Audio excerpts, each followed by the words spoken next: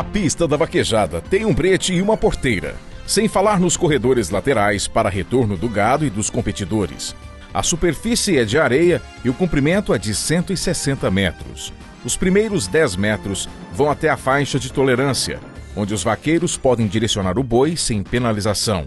A corrida segue mais 90 metros até chegar nas faixas de pontuação demarcadas por cal, onde o boi tem que ser derrubado. A pista segue por mais 50 metros, que correspondem à área de desaceleração, onde o cavalo tem que parar.